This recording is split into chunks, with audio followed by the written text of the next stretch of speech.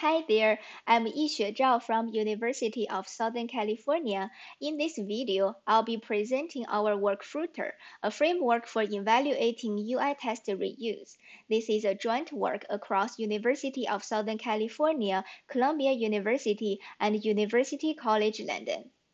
So first of all, what is UI test reuse? I might be biased, but I think it's a new and a very exciting research area to work on right now. It refers to a type of test generation technique that can automatically generate usage-based tests.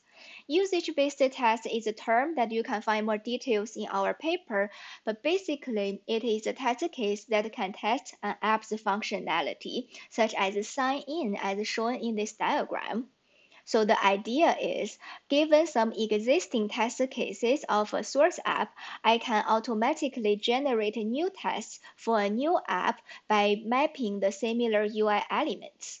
So in this example, I can generate B31, B32, B33 for the target app automatically by reusing an existing test case A11, A12, A13 by mapping the similar UI elements. But why do we need an evaluation framework?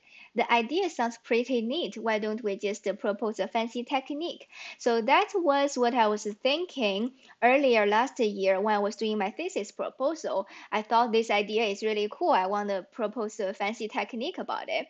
But it turned out I was not the only one. There were already very few work on this area and in the very, very recent time period. And also at the same time, earlier last year, there were people who improved upon existing work and submitted their paper at that time. And both papers later got accepted at ASE conference last year. So that's why Fruiter was born because if I want to have my new fancy technique, I now, since there's already existing techniques, I want to first identify the limitations of the state of the art. And then I can see which techniques are better so that I can compete my technique with them so that I can show that my technique is better. Well, it turned out that proposing and developing such a framework to evaluating existing test reuse techniques is really hard. That's why I did not get to propose a new fancy technique, but I spent all my time to develop this framework. So today I will give you some taste of why it is so challenging. We first identified five key challenges to develop this framework, then establish the five key requirements that should be addressed. You got to do it in a software engineering way, right? And then we designed this Fruiter framework to address those requirements. And of course, you need to build a benchmark so that different techniques can be evaluated on the same benchmark. By the way, they were not evaluated on the same benchmark before. So you cannot see which one is better just by uh, the results from the original papers. And in the end, with this Fruiter framework, I also need to migrate existing techniques to Fruiter so that we can evaluate them side by side on the same benchmark to understand their differences and similarities. In this video, I will focus on three out of five challenges that we address in Fruiter. So first one is the evaluation metrics used by existing work are different and limited because eh, mainly because this is a very new domain, so standards are not set up yet. So the evaluation metrics they use are quite different. For example, when you see 50% in one paper, it doesn't mean the same 50% in another paper because they don't use the same metrics. And also, uh, existing techniques focus on evaluating the accuracy of how you map the UI elements from one app to another, but accuracy metric doesn't really mean the generated test test case is really good. Let me show you an example. So these are two shopping apps, Wish and Etsy. So if you want to uh, transfer uh, existing test from Wish to Etsy, then you can just map uh, the A11, A12, A13 to B31, B32, B33, right? But assuming you map this automatically and perfectly with 100% accuracy, still you are missing some steps B11 and B21 in Etsy, so your test case is not perfect. And the second challenge is uh, evaluating existing technique actually requires a significant manual effort. So in the same example, if you want to evaluate your technique that transfers tests from wish to Etsy, imagine you have one test with three events like this example, then what uh, existing work does is you manually inspect every GUI event in this test to see if the mapping is correct or not. So in this case, you have to manually inspect three times to see A11, A12, A13, whether they are correct or not. And imagine you have 10 apps, then there's 100 source target app pairs, right? And for each app, imagine you have 10 tests, and each test has 10 events to map from and to. So in the end, you have to manually inspect 10,000 times. This is just not very realistic. That's also why actually in one of the papers, they restricted their comparison with prior work with only half of the app pairs. And the third challenge is there's no guidelines for this manual inspection. This will yield biased and unreproducible results, right? Because, uh, for example, if I want to see whether my technique maps A11 correctly or not, and if my technique maps A11 to B31, do you consider it correct or not? This is actually debatable because in A11, the text says enter the email, but in B31, it actually says you can all uh, you can put both email or username. So if I map them uh, map from A11 to B31, is that correct or not? This is actually quite subjective, and currently we don't know what existing technique considered is correct or not because there's no rigorous guidelines to show how you should do this manual inspection. Now I will show you how Fruiter addresses the first challenge about the metrics. So if, the evaluation metrics are different, the natural step is, oh, we should just standardize them. So that's exactly what we did. I contact all the authors of existing work and understand what exactly those metrics mean when they evaluated their techniques.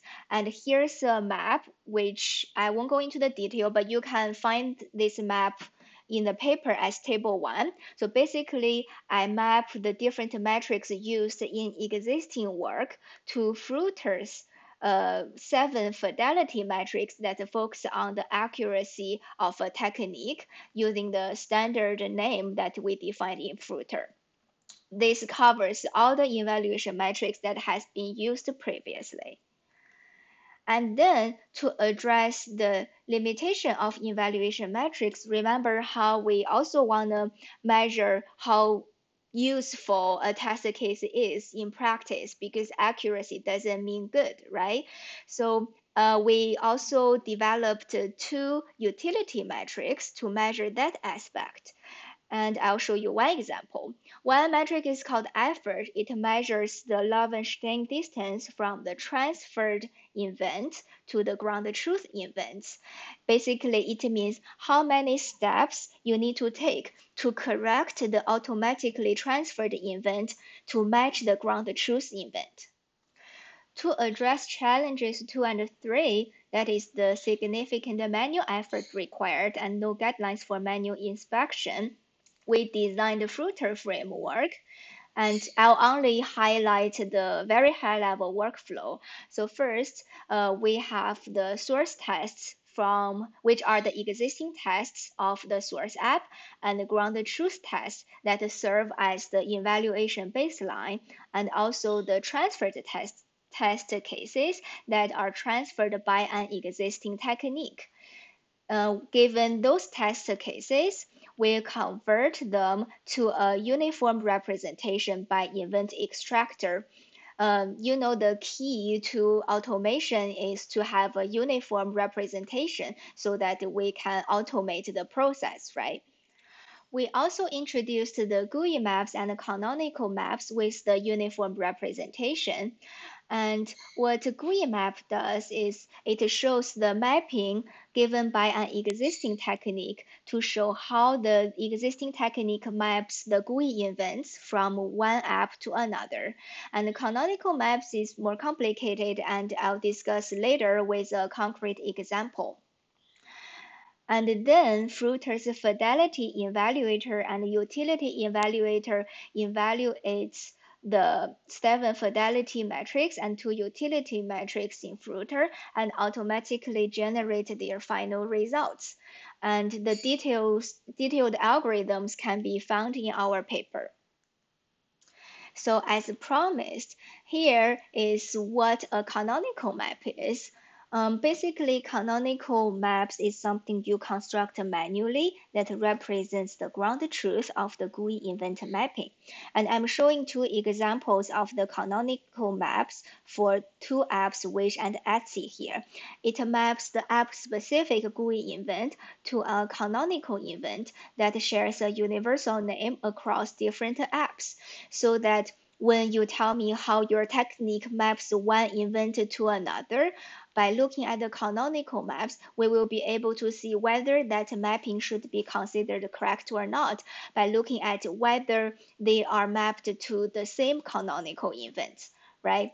So as I mentioned earlier, this canonical map construction is the only manual effort that is required in Fruiter. That's how we address the challenge number two, which is a significant manual effort.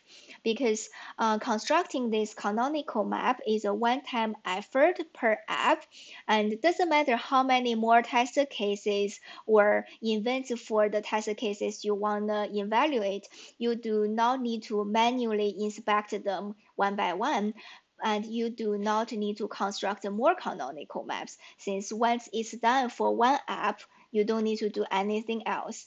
You can just evaluate the hell out of this app.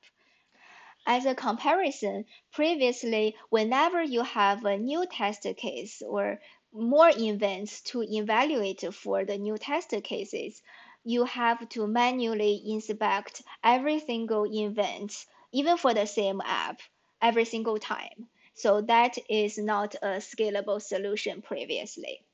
So we don't want that. This is addressed by Fruiter. Okay, to address challenge number three, that is the lack of guidelines for the manual inspection. It is actually also addressed by the canonical maps because now the ground truth is written in these canonical maps. For example, in this case, which we mentioned earlier, whether you map A11 to B31 is debatable, right? And if I construct my ground truth in these two canonical maps, it means mapping them should be considered correct since they are mapped to the same canonical events.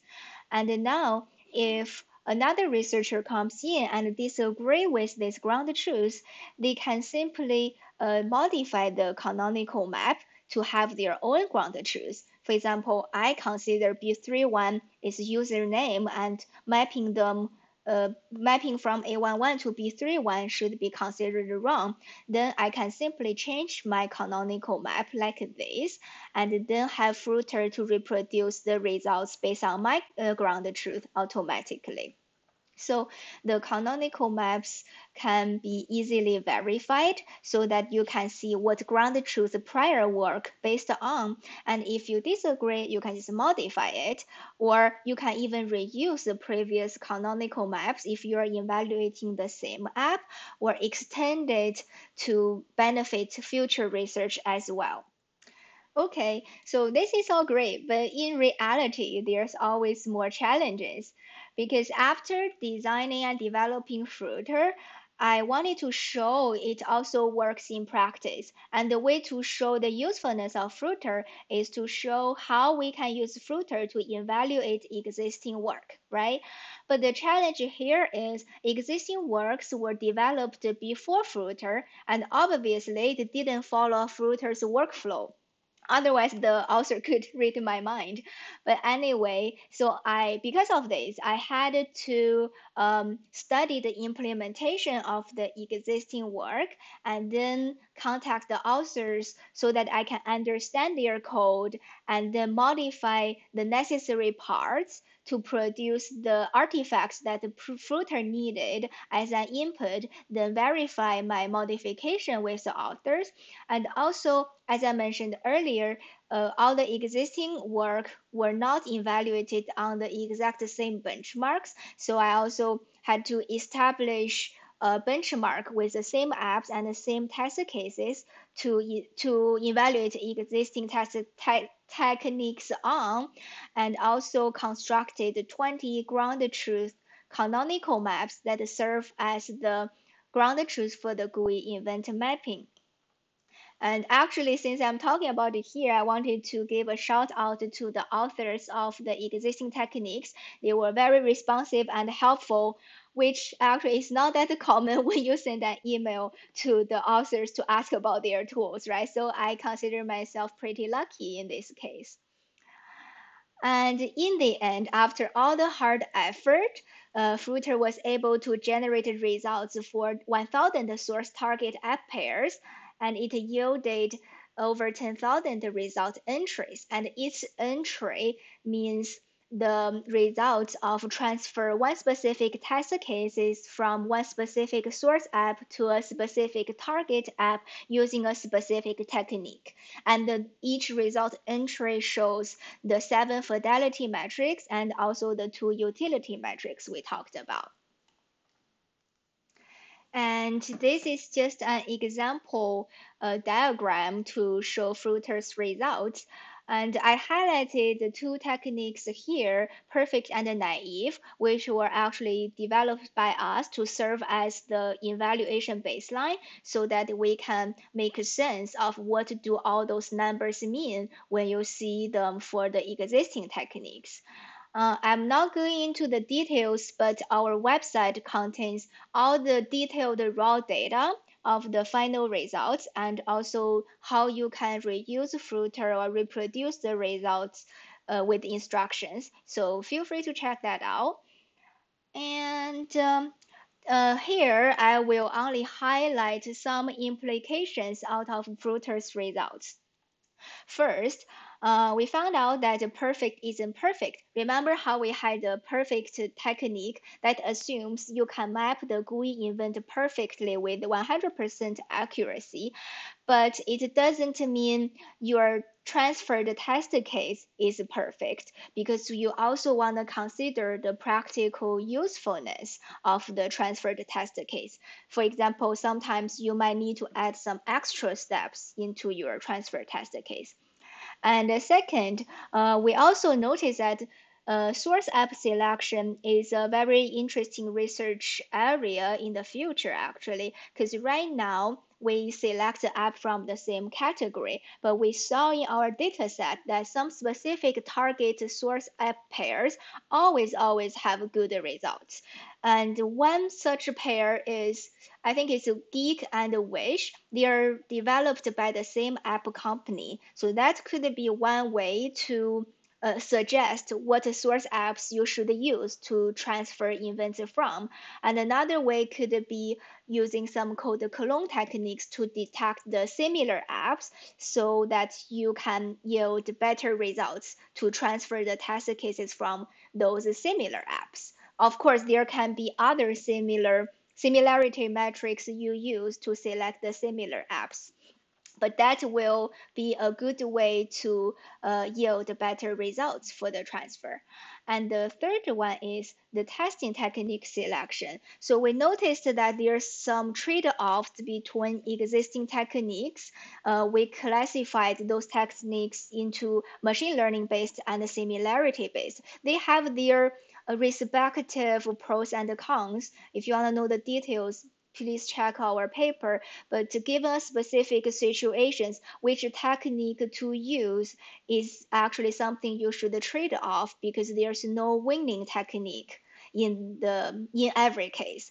And also we noticed something interesting is this automatic transfer is not always the good thing to do because we also measured the effort of uh, correcting the transferred test into the to match the ground truth test and it shows sometimes to the manual effort to correct it can be even more than you just simply write the test case from scratch manually. So this shows that in the future, maybe research uh, research can consider some ways to suggest whether I should choose to write this test case manually or using some sort of automatic technique to generate because apparently automatic is not always the way to go. Okay, alright. Thanks for watching the video. If you have any other questions, please feel free to reach out to me and check out our paper that has more details. And I also talked about more future directions in this very exciting area. And also, I talked about some of the future directions in my dissertation, which will be published soon this year, I think. So please stay tuned to connect with me so that you will get the most recent news of my work. Thank you very much.